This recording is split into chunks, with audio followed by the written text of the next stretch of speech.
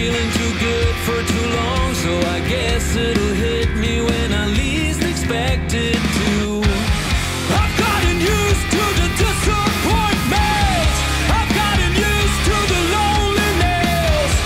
I've gotten used to the constant failures and the world that surrounds me. It keeps me depressed, but still, I try to find what you call happiness. Is it much to ask? Too much to demand? That even I might someday get to know that feeling before it's time to greet our friend with a sigh.